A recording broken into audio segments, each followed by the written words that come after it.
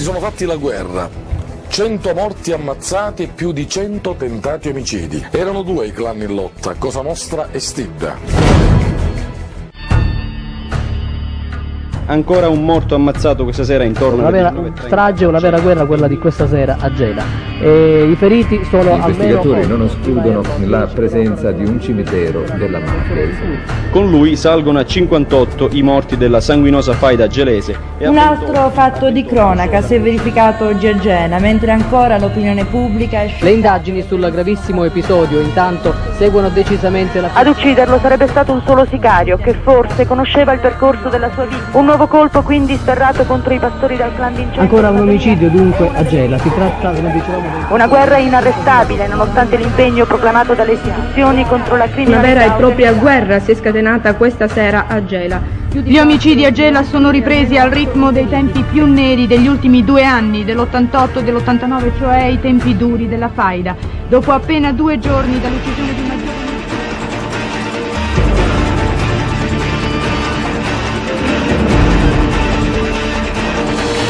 Sulla bilancia del crimine c'erano centinaia di milioni per i lavori da eseguire alla diga di Sueri.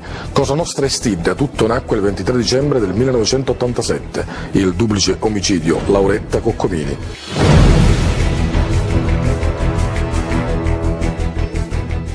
Il nostro interlocutore, Emanuele Celona, collaboratore di giustizia che noi abbiamo raggiunto in una località segreta del nord Italia, ci spiega il perché di quel duplice omicidio i stiddari hanno sempre comandato in passato a Gela. Eh, Madonia non ha comandato a Gela, anche perché gli Emanuello, vecchio, lo zio de, degli Emanuello, che si chiamava Angelo Formicolone, era lui che comandava. Poi gli stiddari hanno ammazzato diciamo, ad Angelo Formicolone. Allora gli Emanuello poi hanno fatto la guerra agli Stiddari e poi con gli Emanuello si ci è affiancato Madonia, ma la guerra a Gela eh, diciamo, l'hanno cominciata gli Emanuello, perché l'ha cominciata Piggio Madonia già a Gela la guerra? Non l'ha cominciata Piggio Madonia, Piggio Madonia a Gela sì ci veniva ma non aveva quella tutta, non, non, tutta quella eh, diciamo non comandava, diciamo, come i veri, quelli che comandavano erano i stidari.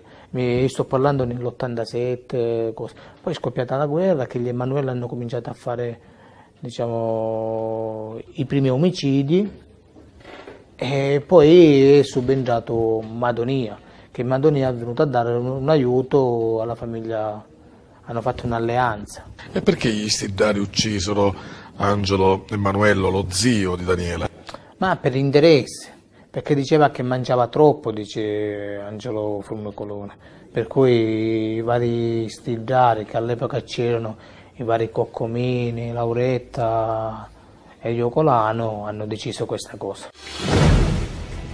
Emanuele Celona, Cagela è inteso Daniele, è nato nel 1973, già nel 1989, dunque all'età di 16 anni, ha avuto i primi guai con la giustizia. Ma lì era più che altro una ricettazione di una Vespa che era stata rubata da Massimo Ferrigno, diciamo, era stata rubata all'epoca.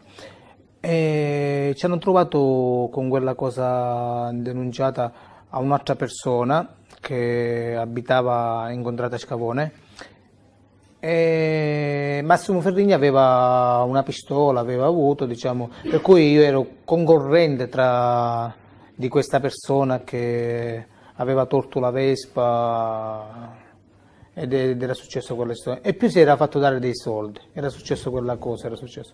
Nella...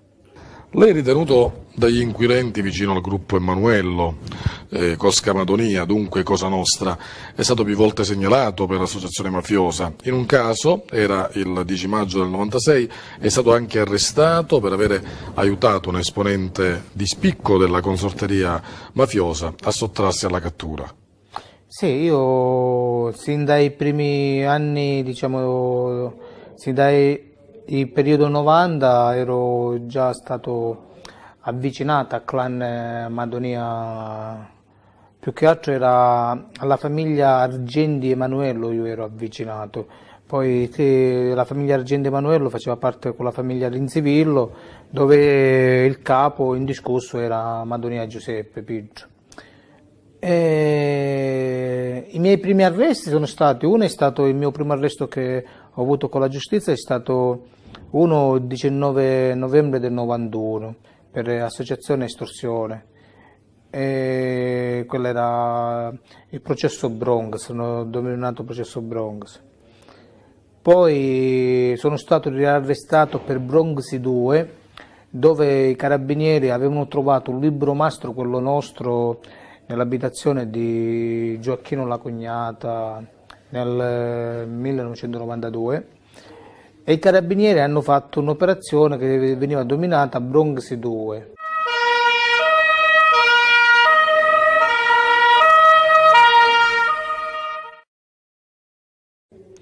In questa operazione c'erano dei commercianti che parlavano e ci accusavano, tra di quali a me, a me mi accusava per esempio un certo Nino Miceli che aveva concessionaria. Inizia immediatamente la collaborazione con, con i carabinieri pur eh, non essendoci una denuncia formale, successivamente viene fuori quello ormai divenuto famoso libro mastro che i carabinieri trovarono eh, nel momento in cui facevano una perquisizione nel quartiere Bronx e lì non era più il Miceli che pagava ma c'era un elenco di 50 commercianti che pagavano non c'era solo il concessionario automobilistico Miceli, c'erano altri concessionari, c'erano farmacie, c'erano supermercati, eh, c'erano rivenditori di giocattoli, c'era di tutto e di più. A tappeto? Era a tappeto. Ma chi le chiedeva i soldi, dottore Miceli? Era Cosa Nostra o i rappresentanti della Stiglia? Inizialmente il discorso oh, partiva da Cosa Nostra. C'è anche da, da, tenere presente che io per, per, nei 22 anni che ho vissuto a Gela, prima uh, di questa vicissitudine, io non avevo mai eh, avuto richieste di denaro. E l'avere un pomeriggio incontrato un, un esponente di spicco um, del clan di Cosa Nostra e avendo avuto una, uno scambio di battute che parte, esplode la rabbia nei miei confronti, per cui l'incendio, per cui la richiesta, la richiesta dei soldi. Quindi prima è cosa nostra, ma uh, dopo, dopo alcuni mesi, altra telefonata notturna dei carabinieri, altro incendio.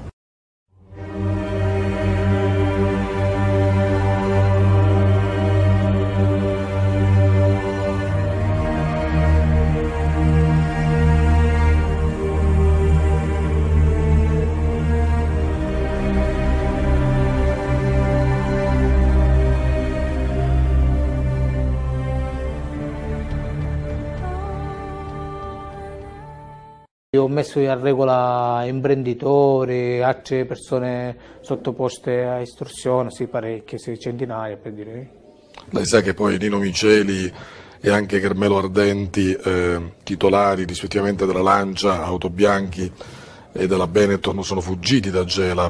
Sì, sì, perché noi avevamo fatto parecchio danno diciamo, alla Lancia, mi ricordo quando c'era eh, Davide Emanuele, Argento Emanuele di Guido, che era all'epoca il capomandamento. Eh, eh, abbiamo fatto parecchio danno diciamo, alla lancia, l'abbiamo proprio costretto, tra virgolette, diciamo, eh, perché poi ci andavamo, ci andavamo a prendere le, le macchine, magari no, non li pagavamo diciamo, a prezzo come si, si doveva, che era sul mercato.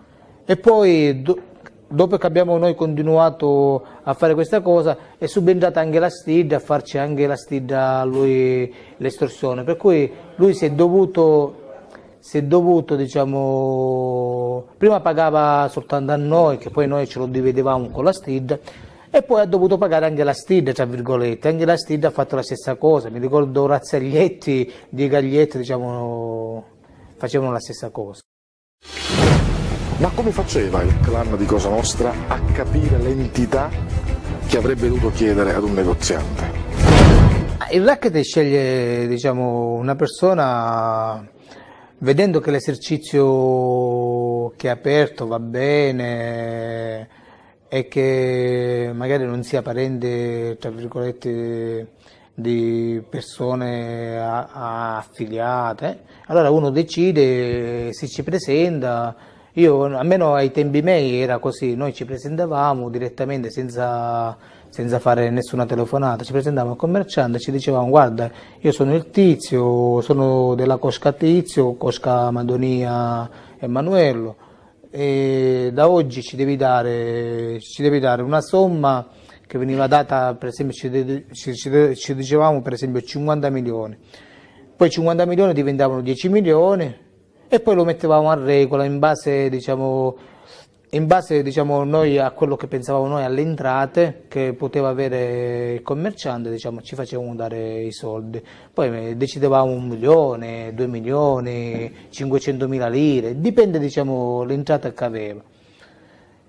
Poi come avvicinarlo si poteva avvicinare in tanti modi, se noi pensavamo che la persona poteva parlare facilmente, andarci a denunciare, tra virgolette era sbirro, noi lo facevamo contattare tramite amici vicino a lui. Allora questi amici vicino a lui, che erano poi amici nostri, cercavano di ammorbidire il commerciante infatti dice, va, dice, ti conviene, paga, dice, che ti costa, dice, tutte queste cose qua, e poi quando noi ci andavamo, andavamo a colpo sicuro, senza essere denunciati. E se il commerciante si rifiutava di pagare? E il commerciante, quelli più duri, noi ci distruggevamo il negozio, o ci bruciavamo le macchine, o ci bruciavamo le campagne, le ville che avevano in campagna, cosa che è successo in passato o se no dipende di, di, diciamo, da che cosa diciamo, pensavamo di fare. Celone, a proposito di danneggiamenti, perché ogni notte a Gela si verifica un attentato incendiario? Ma lì ormai è diventata una uh, cosa quotidiana anche per il fatto che ormai l'incendio è anche, sì, parecchi sono riconducibili al racket, ma parecchi anche non sono riconducibili al racket in quanto ormai anche per esempio il marito che è stato, ci hanno fatto per esempio le corna, pensa di andare a bruciare la macchina diciamo, al suo rivale, ci sono tanti parecchi diciamo, incendi che sono diciamo, in questo genere. Questo tipo di attentati hanno tante motivazioni, non sono soltanto, sempre e solo soltanto eh, di matrice mafiosa. Alle volte ci sono piccole vendette personali, alle volte possono avere una colorazione politica nel, locale, nel senso di avversari di certe cose, quindi diciamo che non si può eh, generalizzare.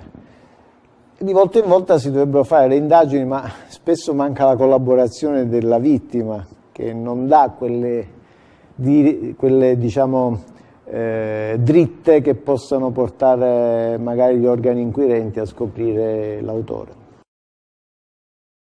Noi quando decidiamo per incendiare un negozio o distruggere qualche cosa è perché vediamo che quello ha avuto la testa dura, quel commerciante o imprenditore non vuole pagare e allora si decide quale precauzione prendere, in accordo con la stidda però perché la stidda, se noi facevamo dei danneggiamenti, noi avvisavamo alla stidda, guarda che noi danneggiamo a questo, perché questo è cornuto, e allora la stidda dava il consenso.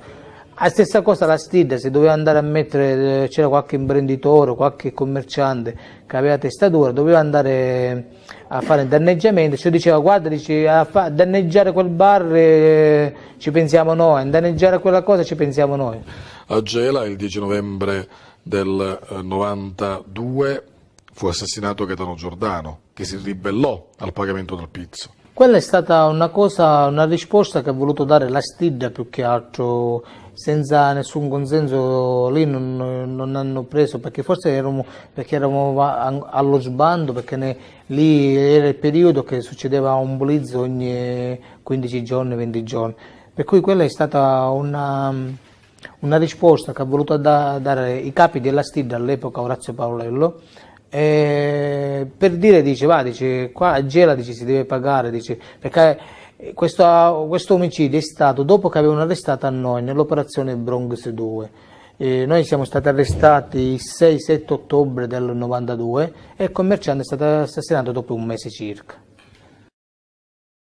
Giordano e il figlio stavano scendendo dalla Panda Fire 750 di colore blu quando due sconosciuti in sella ad un vespino e con i volti scoperti li hanno affrontati sparando una decina di colpi di pistola calibro 9 corto. Cinque hanno raggiunto il commerciante al petto, uno dei quali molto probabilmente gli ha trafitto il cuore. Uno ha colpito il figlio ad un gluteo con foro di uscita all'inguine. Quattro invece sono andati a vuoto. L'agguato pare non abbia avuto testimoni. I sicari sono stati certamente aiutati dalla scarsa illuminazione della strada della via Verga, garantita solo da piccole lampade a neon e interessata da qualche giorno a lavori per la posa in opera di tubazioni e rifacimento del manto stradale. Lui ha denunciato i suoi estortori ed è morto. Non ci sono parole? Non sono parole per... È troppo grande per noi la mafia, è troppo grande. Queste sono le nostre armi, speriamo di potercela fare, ma è troppo grande. Quel commerciante aveva il diritto di essere tutelato. È stato forse uno dei pochi che è riuscito a battere il muro dell'omertà. Dobbiamo cambiare, questo è l'inizio di una lotta. Bravo! Quelle che abbiamo sentito sono alcune delle dichiarazioni di Emanuele Celona, il collaboratore di giustizia. Ma chi è realmente Emanuele Celona per la Polizia di Stato?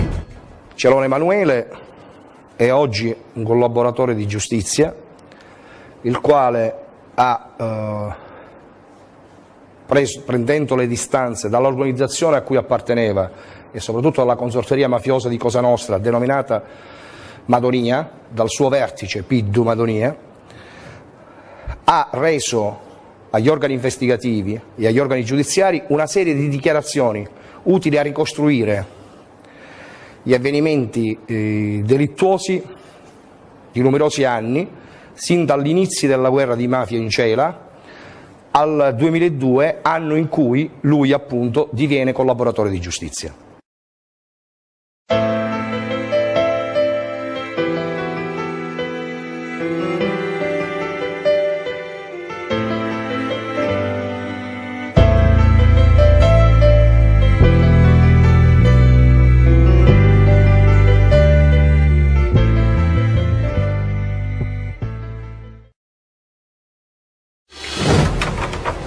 Come si diventa mafiosi? È il giovane che cerca la mafia o è la mafia che sceglie i suoi soldati?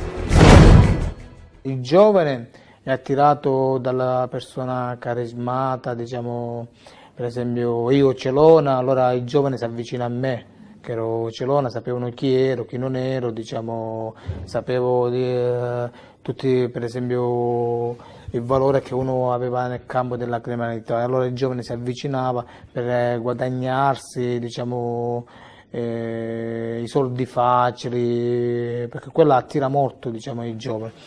E poi c'era anche il fatto che loro, una volta che ti stavano vicino, aspiravano a entrare anche mettendosi a disposizione, facendo i primi danneggiamenti, eh, le, prime, diciamo, le prime cose che noi ci ordinavamo. E lei come ha fatto? No, a me mi è venuta una cosa molto facile perché già c'erano, dentro Cosa Nostra già c'erano i miei fratelli, sia Luigi che Angelo, che già avevano commesso dei delitti di omicidio. E poi c'era, quando io ero ragazzino nel 90, io ci sono entrato tramite Argento Emanuele di Guido, che all'epoca poi ha rivestito la carica di capomandamento. Quanto guadagnava un soldato di Cosa Nostra? Ma niente, una miseria, eh, se, se, valutato diciamo a giorno come oggi è proprio niente, niente di che, ma dipende, 500.000 lire, un milione, eh, chi era magari più, più in gamba arrivava a un milione e mezzo, ma non di più. Qual è la carriera del picciotto di mafia e come si passa dall'estorsione alla rapina all'omicidio? Cioè, come si diventa killer e come si diventa boss?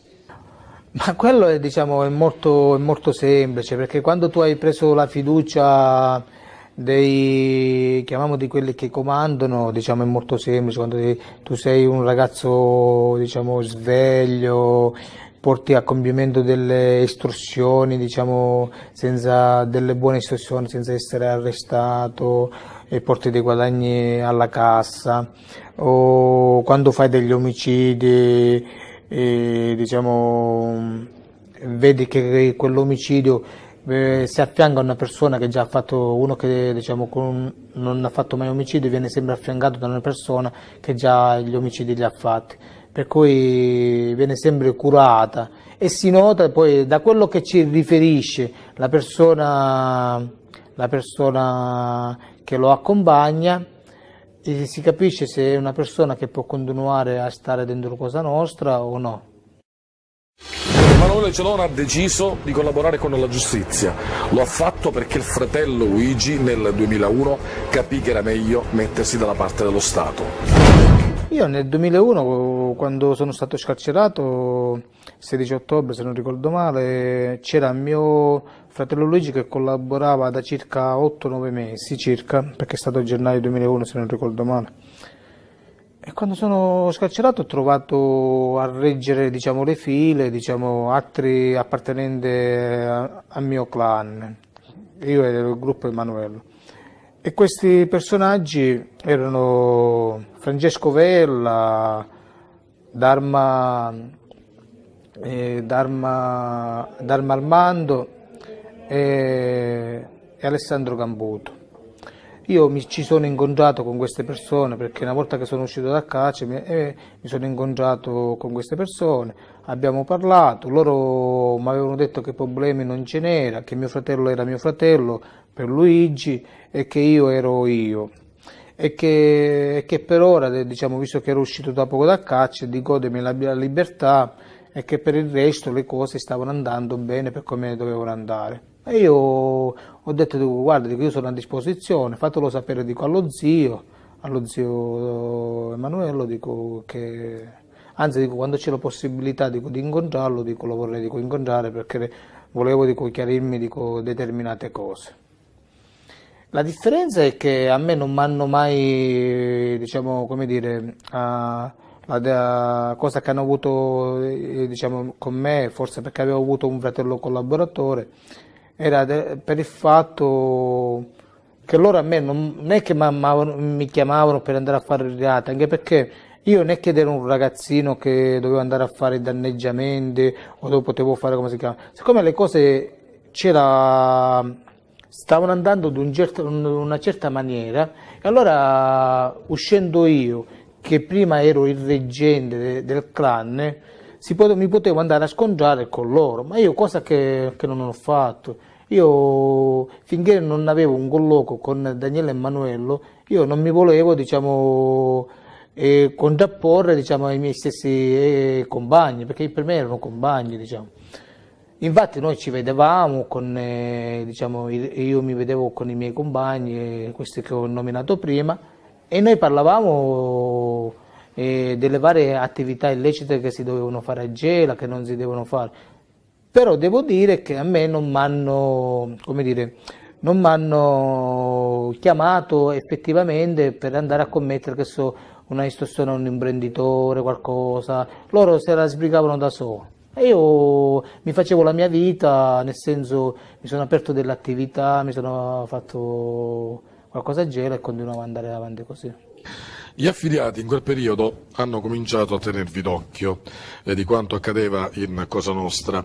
Non vi raccontarono più nulla. Col passare poi del tempo, lei e suo fratello Sergio avete cominciato a temere per la propria vita. È proprio in quel momento che avete deciso di pentirvi, di collaborare con la giustizia? Era il fatto che noi eravamo usciti dal carcere dopo due anni e ci siamo messi a disposizione, più avevamo il fratello collaborante.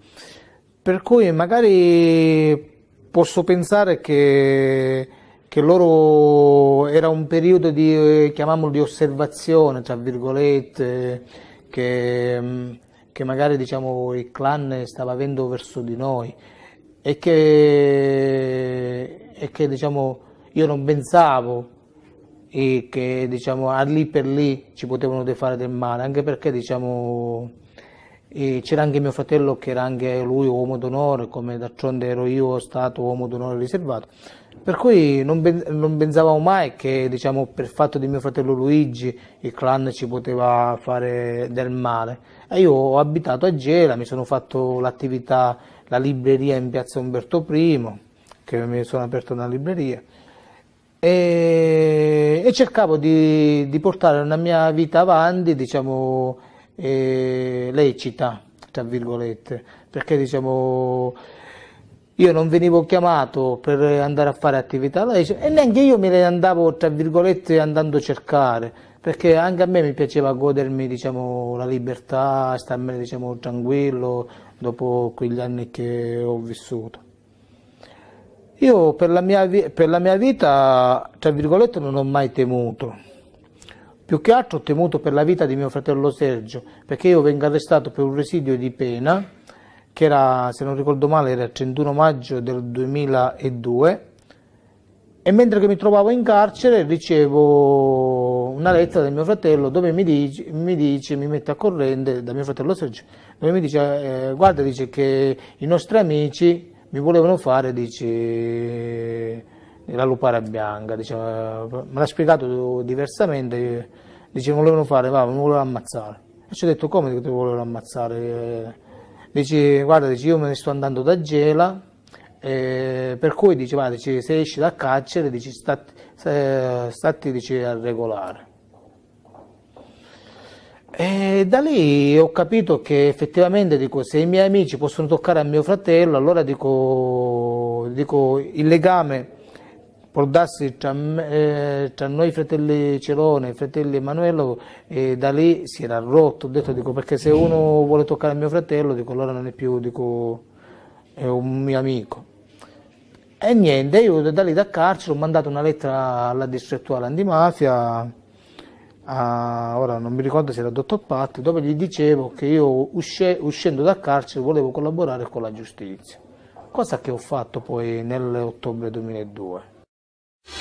Cosa Nostra avrebbe voluto uccidere Emanuele Celora. Eh sì, mi volevo uccidere perché diciamo, era, innanzitutto era Rinella Salvatore. Un altro pregiudicato questo pomeriggio intorno alle 17 in contrada Scavone è stato bloccato Salvatore Rinella di Venti, che transitava nella zona alla vista degli agenti, si è dato alla fuga. A seguito di una perquisizione, addosso gli è stata ritrovata una pistola calibro 9. Che poi era in compagnia con eh, altri affiliati, che Ferrigno Marco. Sì, mi volevano uccidere perché io ero stato messo a capo dell'organizzazione per conto di Daniele Emanuello, per cui io gestivo l'organizzazione a Gela.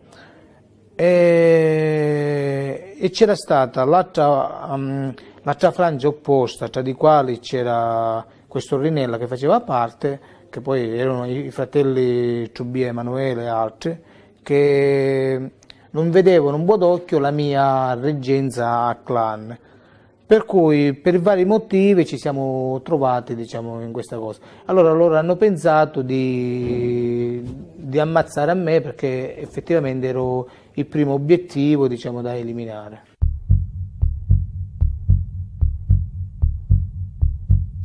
Emanuele Celone è stato un istruttore, è stato mandante di omicidi.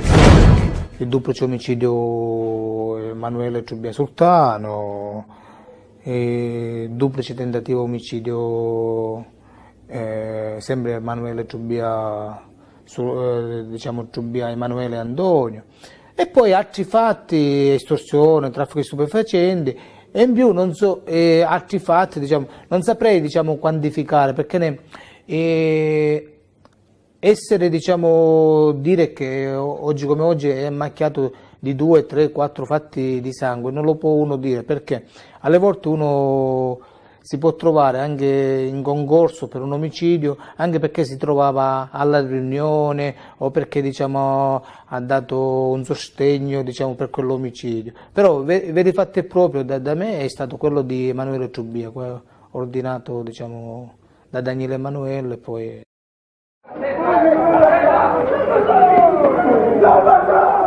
Sgancio tragico ieri sera a Gela dopo il duplice omicidio nella sala da Barba nel quartiere San Giacomo in cui Emanuele Trubbia, 27 anni, e Salvatore Sultano, 23, sono caduti vittime della sanguinosa ferocia dei killer. Sette ore dopo ancora sangue scorso sulle strade di Gela.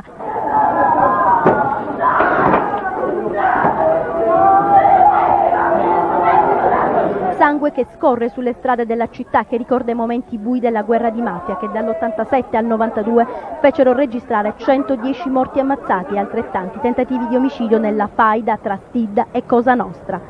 Sarebbero appartenuti tutti e tre alla famiglia di Piddu Madonia, tre delitti che secondo gli inquirenti vanno inquadrati nell'ambito di una lotta interna alla Cosca, fazioni in guerra per la conquista del vertice di un'organizzazione mafiosa che non ha mai perso il controllo delle attività illecite del territorio Emanuele Trubbia, fratello di tre pentiti, era uscito da carcere da poco, assolto dall'accusa di associazione mafiosa, appena ritornato in città avrebbe cominciato a tirare le fila dell'organizzazione, poi l'ha scalata al vertice, ma doveva fare i conti con il boss ancora latitante Daniele Emanuello, reggente della famiglia Madonia di Piddu Madonia.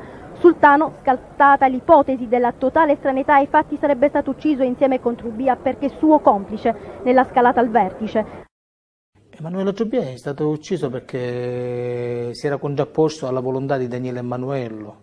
Poi tutto sommato si è cercata lui, diciamo, io ho cercato di onestamente di oppormi tra virgolette a questa esecuzione, a parte che non volevo scontrarmi tra virgolette con i fratelli Giubbia, perché già avevano avuto due fratelli o due o tre fratelli penditi e non volevo a, a farci ammazzare a Pasquale Ciubia un altro fratello. È stato ammazzato perché era contrapposto, perché loro hanno cominciato a spararci e noi poi per dare l'esempio, diciamo, per dare anche diciamo, una risposta a Clan Renzevillo che a Gela comandava gli Emanuello, voluto, diciamo, abbiamo voluto ammazzare questa, questa persona. Devo dire che io all'inizio, quando Cascino Nunzio mi ha portato, la, l'ambasciata dello zio che si doveva ammazzare questo, all'inizio lì mi ero un po', diciamo, eh, mi ero un po', diciamo, ci è rimasto male perché io a Ciubia Emanuele abbiamo fatto un incontro nel fine aprile, a fine aprile, o, diciamo, fine aprile del 99 abbiamo fatto un incontro dove ha partecipato anche Emanuele Terlati e altre persone, e io gli avevo dato la mia parola che non succedeva più niente. Per cui poi un altro dei motivi era perché una volta che succedevano del sangue a gela, il primo obiettivo per gli inquirenti, anche perché gli inquirenti lo sapevano che a gela ed ero io che reggevo le redini, sia la polizia che i carabinieri, il primo a essere arrestato ero stato io, cosa che poi avvenne il 31 luglio del 99. C'erano tante armi a disposizione del clan di Cosa Nostra, ma dove venivano custodite? Si sceglieva una persona a chi affidarle e, diciamo, e si facevano tenere queste armi. Eh, in passato eh, abbiamo avuto dei covi dove si tenevano le armi. E dove erano si può sapere? Ma di, diciamo, nelle varie campagne, diciamo Spinasanda, zona di Vittoria, nelle varie campagne, diciamo. Una vita caratterizzata dunque da lutti, da tanti omicidi, da sangue, ma perché un ragazzo accetta di vivere una vita da fuori legge? Dipende in che ambiente uno vive, anche quello fa tanto, che magari non, eh, quando si è piccoli non si hanno, diciamo, non, non hanno avuto magari culturalmente diciamo, inseriti a qualche parte, come io per esempio vedo ora in giro in tutta l'Italia me ne accorgo per esempio eh, faccio un paragone al nord e vedo per esempio delle persone che mandano i figli da piccoli, li mandano in piscina, li mandano a, scuola di ballo, li mandano a calcetto, ci insegnano una cultura diversa, forse perché c'è anche più disponibilità, forse perché a sud c'è meno di, disponibilità di, di queste cose. Per cui vedo in base a come cresci, in base all'educazione anche che ti danno i genitori, che se per esempio un genitore verre, eh, vedrebbe che un figlio frequenta persone che a, a modo di dire sono, sono persone conosciute a Gela per un certo tipo di fama e se avrebbero avuto che so, un padre o una madre bella forte di, so, di, di cippare l'orecchio, tra virgolette, allora penso che magari un ragazzino diciamo, si potrebbe anche un po' recuperare. Ma siccome secondo me non, proprio, non ci sono le strutture adatte, non vengono seguiti da nessuno, anche il fatto di non andare a scuola, per esempio per i ragazzini sembra una cosa... Invece io me ne accorgo oggi che senza scuola non puoi fare niente, non puoi... Non, non puoi vivere, diciamo, perché sennò fai sempre una vita da mendicante, diciamo, tra virgolette. Emanuele Celona traccia un quadro abbastanza chiaro di quanti sono i mafiosi presenti a Gela, ma soprattutto quanto guadagnano. I uomini sono tanti, sono. E, diciamo il clan Madonia, Emanuello e Renzivillo sono tanti. Tanti, tanti. Ci sono anche persone insospettabili, diciamo, in questa categoria. E fare un numero, ma secondo me saranno più di 300. E quanto guadagnano ora?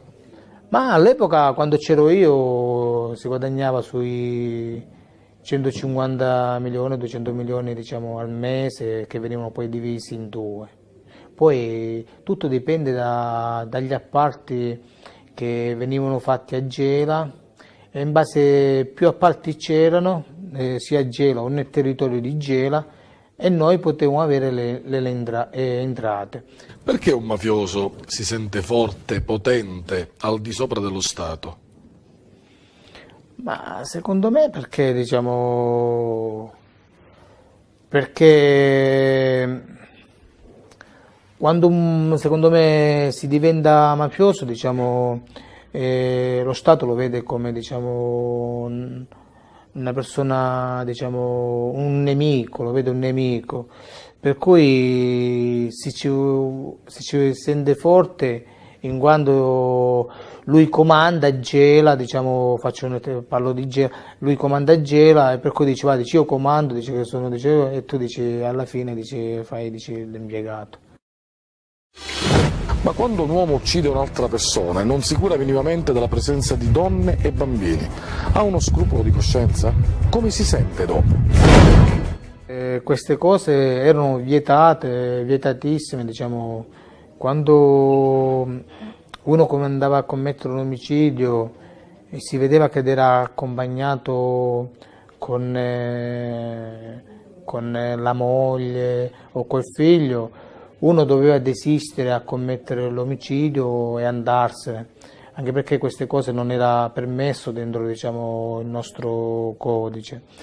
Invece me ne accorgo che anche diciamo, gli ultimi periodi, gli ultimi anni, si ammazzano i bambini, diciamo, ci vanno di mezzo anche le donne e quello è un comportamento che fa molto riflettere. Io mi ricordo una volta vicino a carcere a Carcere Vecchio venne, venne ammazzato da Maggio e lì diciamo quando poi sono ritornati, quando poi sono ritornati diciamo, chi l'ha ammazzato, quando sono, sono ritornati, sono stati rimproverati. Da, da una parte sono, sono, eh, sono stati, diciamo, hanno detto che avevano fatto un bel lavoro, ma però da una parte sono stati rimproverati dicendo che quello aveva la moglie e il figlio dentro la macchina per cui diciamo, Argento Emanuele Di Guido si era incazzato quella volta. La forza della mafia, del racket, è frutto anche della paura della gente onesta, non le pare? Sì, sì, anzi, soprattutto è quello, perché io dico se a Gela eh, diciamo, le persone denunciassero tutti, eh, non diciamo il singolo, il singolo, il singolo non fa niente, denunciare il singolo, poi viene isolato dagli altri commercianti, quello non va bene.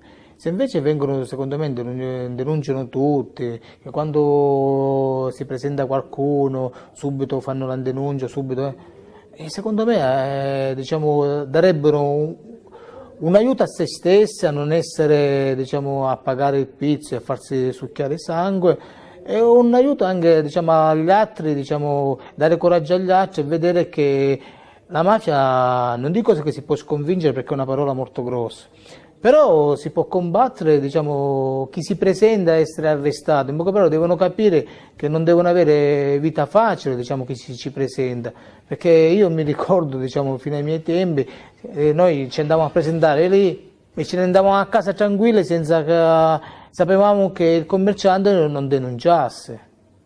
Noi eravamo con questa convinzione, infatti era quello. Ora se il vento cambierebbe sarebbe una cosa molto bella, diciamo, sia per il Gela, sia per tutti, per le persone oneste. Denunce, denunce, i commercianti devono denunciare il racket delle estorsioni, ma gli stessi commercianti hanno timore, hanno paura delle vendette da parte dei clan. Io tu stavo con denunciaio e, e li alla... Questo non lo so se tu sai questa cosa qua. Ma io che ti dice è meglio che se ne va subito, meglio che se ne va, un... sicuramente è meglio che se va, appunto.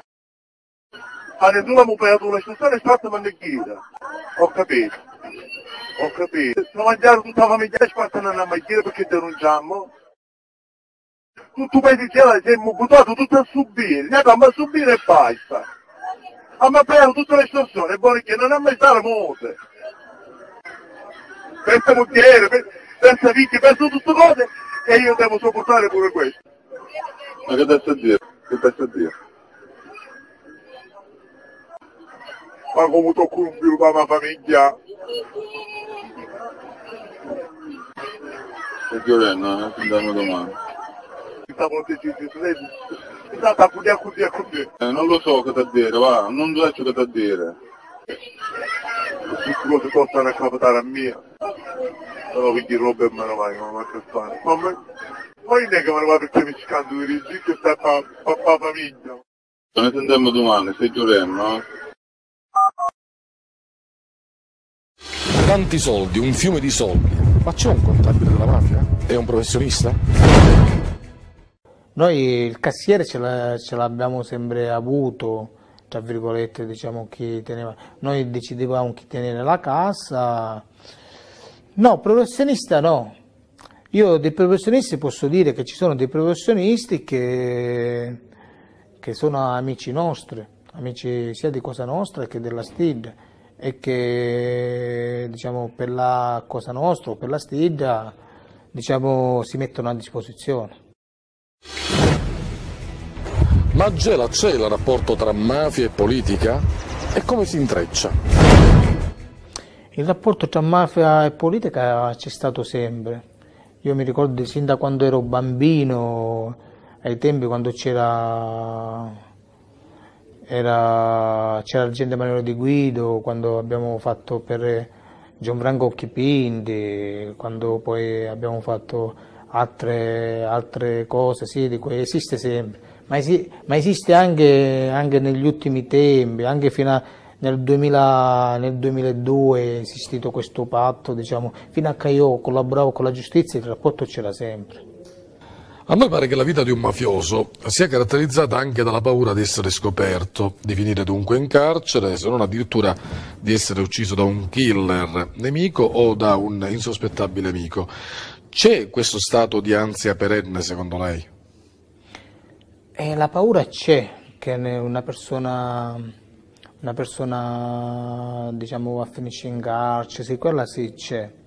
E come se c'è? Perché io in questi miei anni diciamo anche di carcerazione ho visto parecchie persone che per esempio fuori facevano i duri e poi quando arrivavano in carcere diciamo che si metteva a piangere, che si metteva diciamo facevano tra virgolette diciamo i bambini, ma voglio dire dico proprio vedevi delle scene che uno dice ma tu ero tu dici quello che andavi a intimidire diciamo a Gela anche così la paura c'è ecco.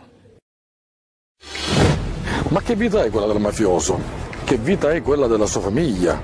se decide sempre di farsi una famiglia la vita di un mafioso è molto, molto complicata sia a livello perché quando tu entri a far parte di un'organizzazione ti devi poi guardare anche dai tuoi, tra virgolette, amici, poi soprattutto i nemici, e per cui diventa una vita complicata perché lì si devono commettere per entrare, diciamo, per entrare, diciamo, chiamiamolo in mese, in mensile, senza lavorare, prendere i soldi, devi commettere dei reati. Per cui è una vita sempre sopravvivere dentro una giungla perché diciamo devi stare attento se ti possono ammazzare, devi stare attento se la polizia o i carabinieri ti possono arrestare, devi stare attento a tante cose.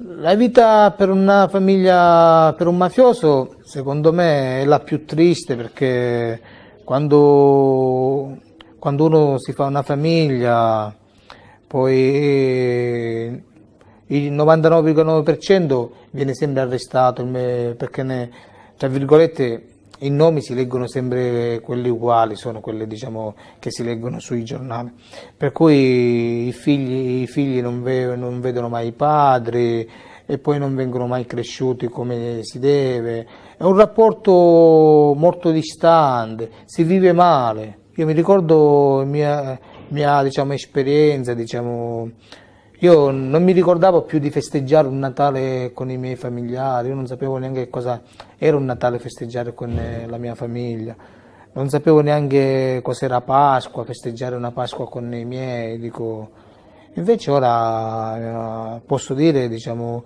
scegliendo la vita che sto facendo, mi accorgo anche diciamo, il singolo giorno è molto bello, diciamo, viverla con i propri familiari, starci accanto, nelle feste, che diciamo, chi ha figli diciamo, li può seguire, poi i figli vogliono il padre accanto, tutte queste cose. Lei è sposato? E diciamo che ci sono stato, se convivevo con una ragazza, ora non più. Una vita segnata quella del mafioso Celona e se vuole uscire dall'organizzazione che cosa succede? Poi è possibile uscire?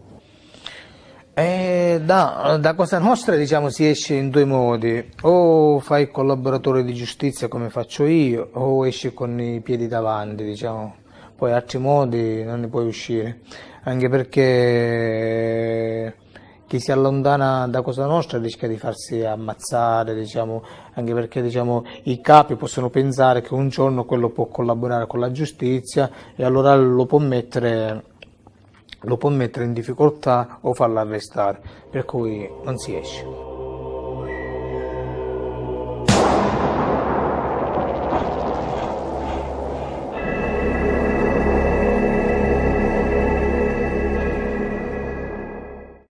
Se lei tornasse indietro, cosa non rifarebbe più tra le sue prime scelte? Ah, ma di quello di essere un mafioso, cioè, eh, sicuramente.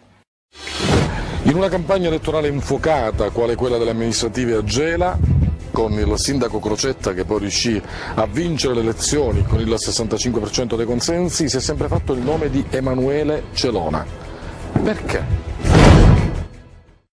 Il rapporto che c'è stato in passato con eh, il sindaco, diciamo, Crocetta, era che io avevo avuto una libreria a Gela, che avevo, come già ho detto, dichiarato, avevo avuto una libreria, e lui all'epoca faceva, se non ricordo male, l'assessore alla pubblica istruzione. E io, siccome dovevo fare, un, eh, dovevo fare dei stendi nel, nella piazza, che poi ho fatto, diciamo, a Gela, e gli sono andato da questa persona e gli ho detto, dico, senta, dico, io siccome vorrei fare qualcosa, dico, per Gela, dico, vorrei fare dei stand, fare una bella cosa cultura di Gela, visto che io ho una libreria, dico, in società con un'altra persona, dico, vorremmo fare questa cosa. Lei, dico, ci può fare, dico, da patrocino, da patrocino, diciamo, a questa, questa manifestazione. E magari non ci farà pagare solo il pubblico, non ci farà. Dice sì, perché? Dice no, dice anzi, dice una bella cosa, dice che fate, dice Peggela, dice è bella cosa. Ma però il sindaco, il sindaco l'assessore non sapeva effettivamente chi era e chi non, chi non ero, diciamo, qual era la, il mio passato, diciamo, che era stato in quel, diciamo, che avevo vissuto in Cosa Nostra. Per la campagna diciamo, elettorale io non ce l'ho mai diciamo, condotta, che io qualche volta al sindaco gli prestavo, che qualche volta ci siamo andati a mangiare assieme, sì, quello sì, che qualche volta diciamo, il sindaco voleva per esempio la luce perché doveva fare il comizio a Gela, io visto che avevo la libreria di fronte, allora gli facevo mettere le spine, diciamo, eh, questo sì, ma condurre la campagna elettorale per il sindaco no, effettivamente, diciamo, io non ho mai condotto una campagna, anche perché io non ne capisco diciamo, di politica.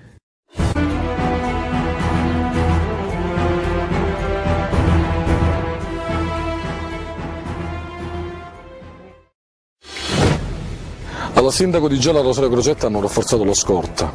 Doveva venire addirittura un killer dalla Lituania per ucciderlo e ultimamente la polizia ha sventato un altro agguato. Perché il primo cittadino gelese è così odiato dalla mafia? A me mi dispiace che diciamo, il sindaco venga diciamo, preso in questa, eh, viene preso a questa attenzione significa che darà fastidio, diciamo, per essere preso in questa attenzione vuol dire che dà fastidio diciamo, alle cosche di genere. Il fatto che lui vuole la legalità, e secondo me anche il fatto degli appalti, che io ho letto sui giornali anche il fatto della, che il sindaco fa fare gli appalti con i carabinieri presenti, fa fare... allora quello è un danno per le cosche perché prima noi pilotavamo, diciamo, tra virgolette, gli apparti, noi decidevamo eh, chi doveva presentare la busta, chi non la doveva presentare e se la presentava qualche impresa di fuori veniva contattato direttamente da noi e gliela facevamo ritirare la busta o, con qualche cavillo che succedeva, per esempio veniva aperta, veniva fatta, la venivano diciamo, buttata fuori, come è capitato diciamo. Trovo drammatico che un sindaco che in Sicilia decide di fare le cose per bene debba vivere continuamente con la minaccia della propria vita, nella condizione di durezza in cui vivo io. Non farà mai un passo indietro rispetto al passato. Ma manco per idea, debbono fare loro un passo indietro perché la mafia deve essere sconfitta. Dalla dichiarazione di Celona, suffragate anche da altri collaboratori di giustizia, si delinea un quadro, uno scenario particolare. La mafia gela ha controllato sia il calcestruzzo che il mercato delle carni, ma non soltanto, ma anche e soprattutto quello della spazzatura.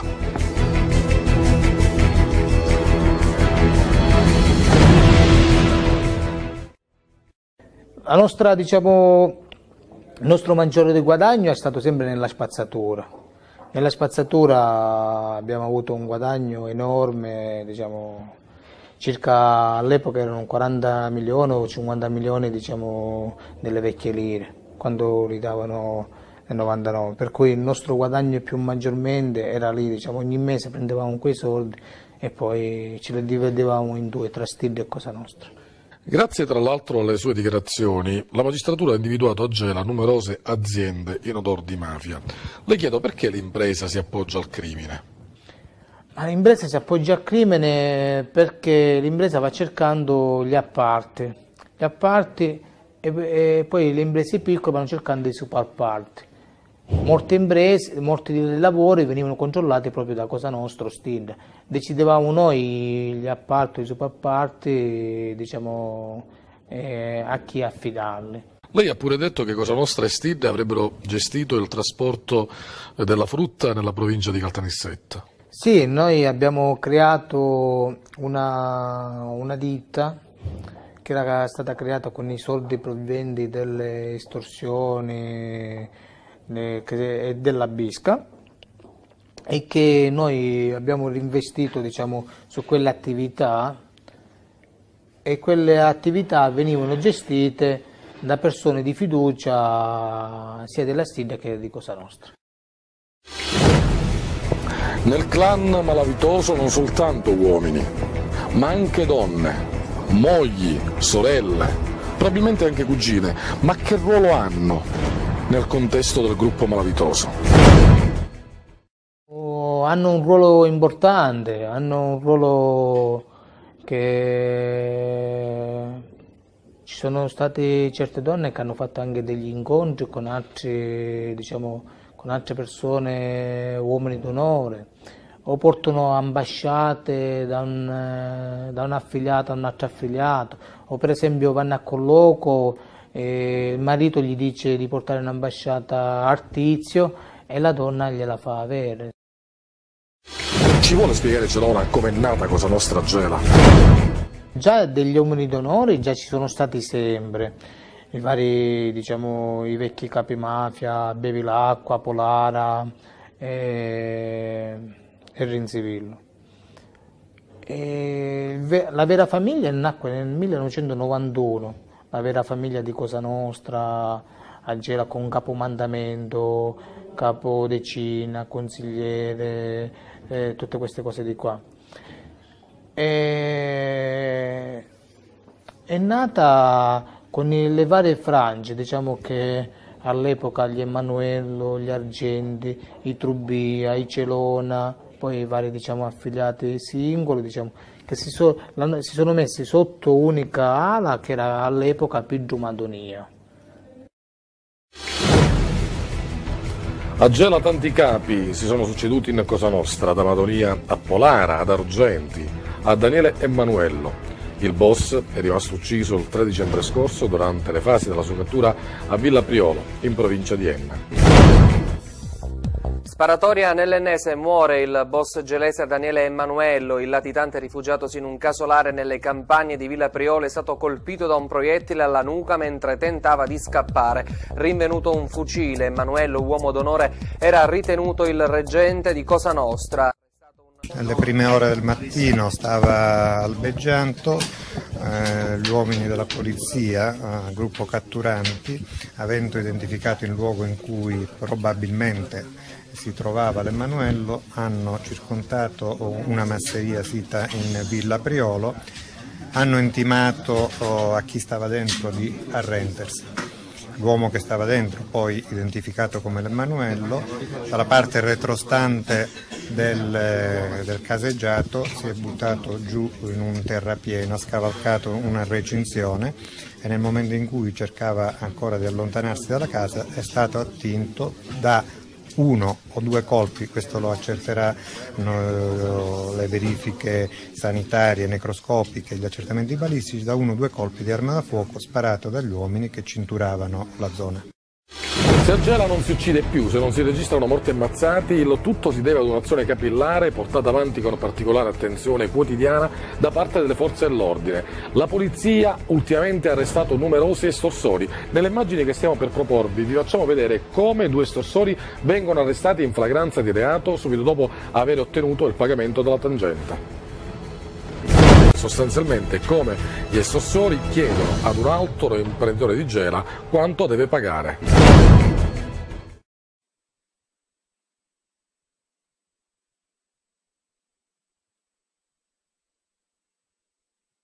non è la prima volta che noi, no, perché voi chiedevate all'ingegnere, l'ingegnere purtroppo, per quanto concerne questo genere di lavori, ha avuto in precedenza diverse capi e vuole rimanere fuori. Io sono incaricato della lista, faccio parlare con voi, per come questa situazione cosa. Intanto scusate, io faccio anche un interesse miei e dalla ditta che io rappresento. A quello parete appartenente ragazzi, parliamoci chiaro. Intanto questo è un argomento non me ne dovrò se seconda cosa è lei che si deve informare, che se no... Sappiamo le vostre richieste, se noi possiamo arrivare o non arrivare. Adesso loro quanto devo trovare? Ma voglio sapere io di me quanto è il lavoro. 559 euro. No, vedete sappiamo che No, no, vi hanno informato male. Vi hanno informato male. Con il 20% di rebassi che abbiamo avuto arriviamo a 559 euro. Cioè, Ma non era una cosa che, che è impegnata su No, no, nel modo più stupido. Come dove? Due che cosa? In che senso? Ragazzi, il 2% sapete quanto sono? Eh, il 2% sono quanto sono? 2 per 5 10. 10.000 euro. A me interessa lavorare e continuare a lavorare. Io già i soldi, io ho portato, io ho non il denaro che mi avete chiesto voi. È il fischio di giusto. Io ho una busta quasi, l'ingresso sono 5.000 euro, sono 10.000 euro. Cioè, la prima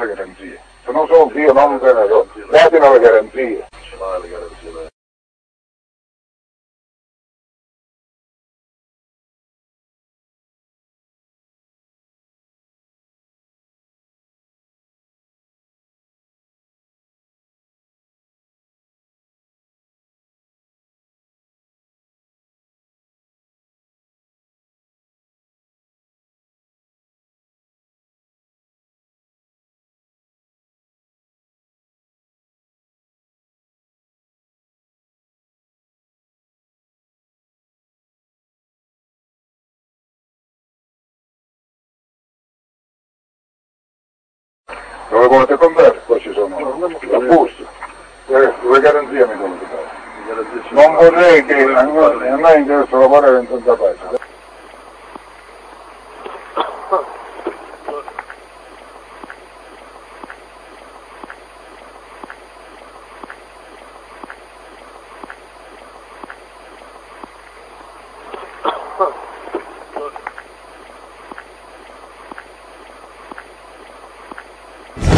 La polizia dunque grazie ad un microfono ambientale ha registrato tutto, tutto quanto accadeva tra due estorsori gialesi ed un imprenditore. Passano pochi secondi dalla consegna della busta, la polizia interviene e arresta tutti. Via, via. Costume te l'aereo?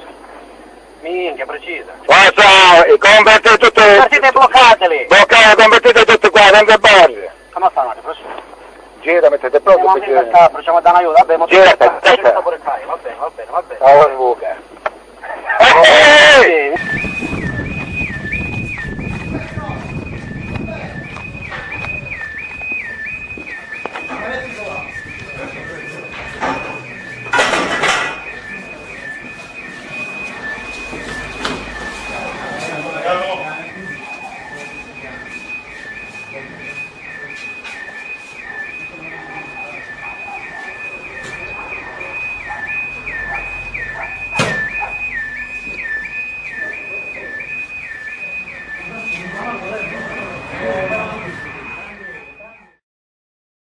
In questi ultimi anni a Gela, nonostante gli omicidi e la guerra di mafia, è stato fatto un eccezionale sforzo da parte delle forze dell'ordine e anche di alcune istituzioni e si è finalmente squarciato quel velo di omertà, per cui abbiamo registrato la collaborazione da parte di alcuni imprenditori e da parte di alcuni commercianti. Sono seguiti eh, tantissimi arresti di pregiudicati affiliati a clan di Cosa Nostra e anche della Stidda. Noi dobbiamo proseguire in questa direzione. La squadra mobile di Caltanissetta e tutta la Polizia di Stato è impegnata in questo senso, così come le altre forze dell'ordine però occorre veramente continuare e soprattutto colpire i beni dei mafiosi, perché credo che questa sia la nuova frontiera. Non basta eh, mandare a giudizio eh, i mafiosi per le estorsioni che hanno commesso, per i reati fine che hanno commesso, ma occorre sequestrare i beni, quindi togliere loro il potere economico-finanziario, perché questa è la nuova frontiera che dobbiamo perseguire. Solo così Gela potrà considerarsi davvero libera dalla mafia e da ogni tipo di violenza mafiosa connessa. Finalmente a Gela qualcosa si muove, c'è un'associazione anti-racket denominata Gaetano Giordano in ricordo del commerciante ucciso il 10 novembre del 1992. Questo è il numero telefonico 335 1228089 335 1228089. Il presidente dell'anti-racket Renzo Caponetti.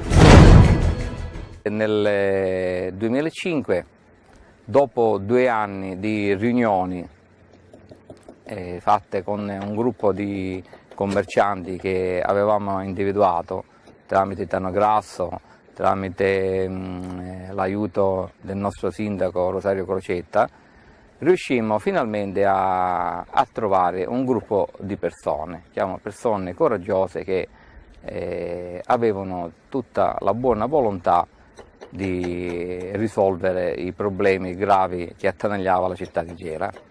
Così nel 2005, proprio nel 19 maggio 2005, fu costituita la nostra associazione.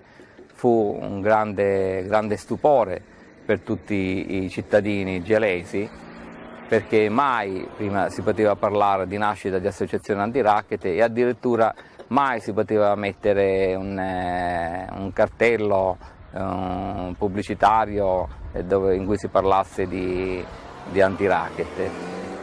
Quindi pian piano, dopo eh, il maggio 2005, incominciamo ad avere anche i primi, i primi associati, ma soprattutto la cosa principale era quella di eh, incoraggiare i commercianti e imprenditori a denunciare.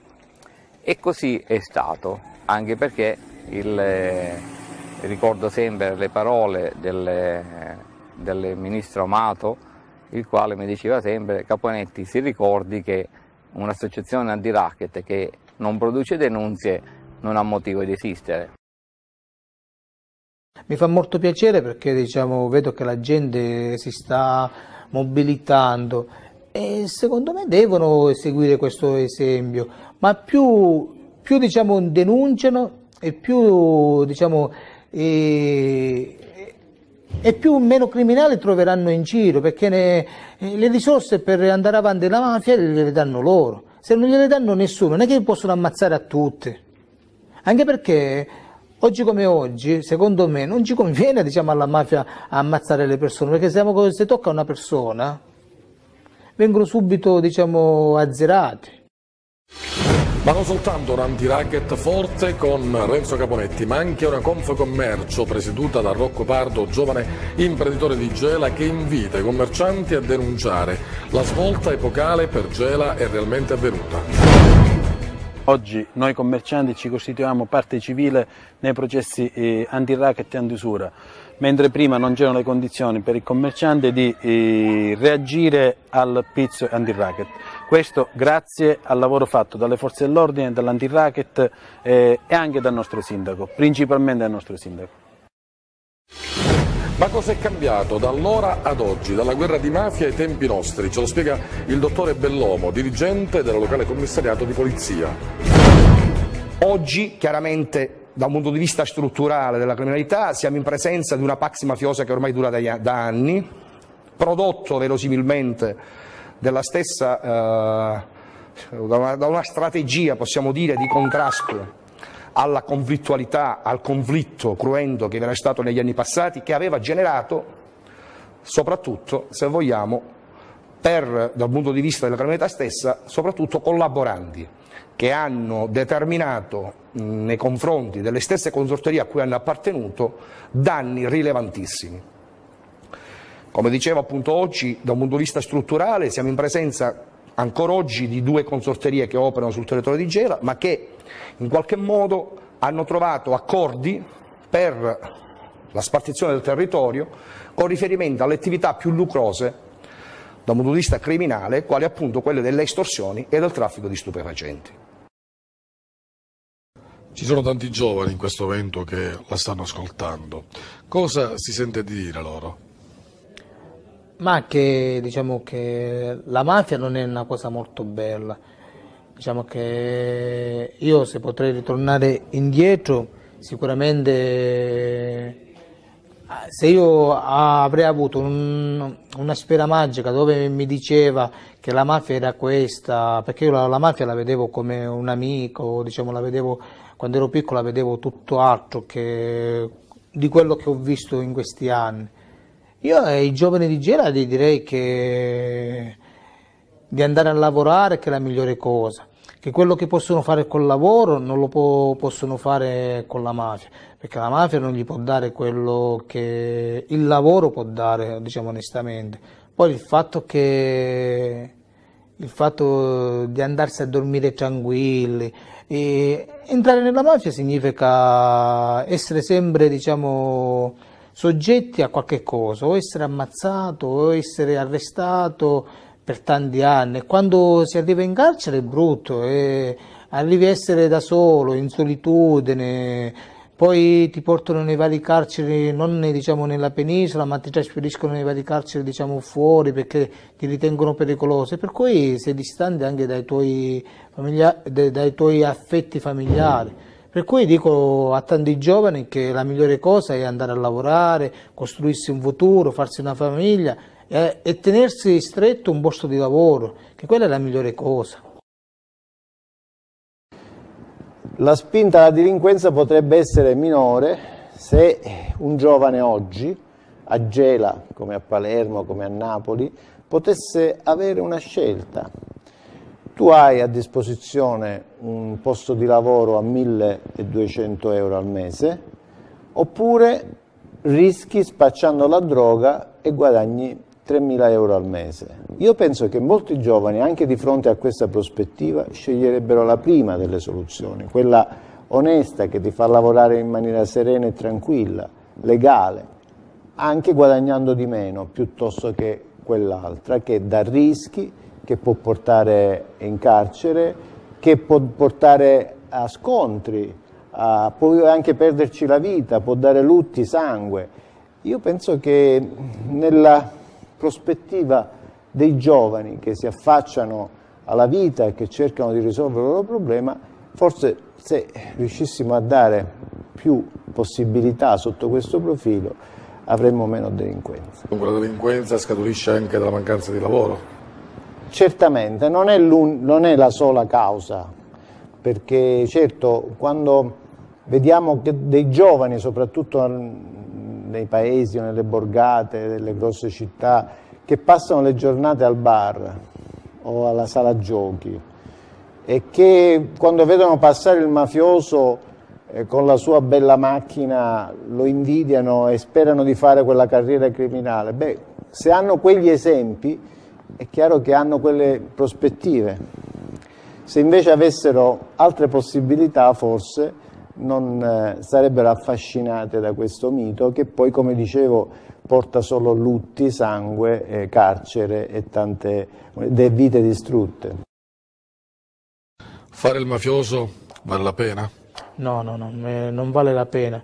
Io, io direi diciamo che a tanti ragazzi che, che posso dire con la mia esperienza che mi sono fatto, mi sono fatto quasi otto anni di carcere ne, nell'arco del 91-2001, per cui io mi sono reso conto che ho vissuto un decennio di vita, otto anni in carcere e due anni nelle fasi fuori. Per cui ho detto, dico, ma io come mai mi sono mangiato dieci anni della mia vita in questo genere diciamo, di cose? Quando se avrei avuto un posto di lavoro, avrei avuto una famiglia, mi, mi avrei goduto i miei figli senza avere preoccupazione se sarei ammazzato o se, se sarei arrestato. Cosa lascia la vita fatta di violenza e di illegalità? Niente.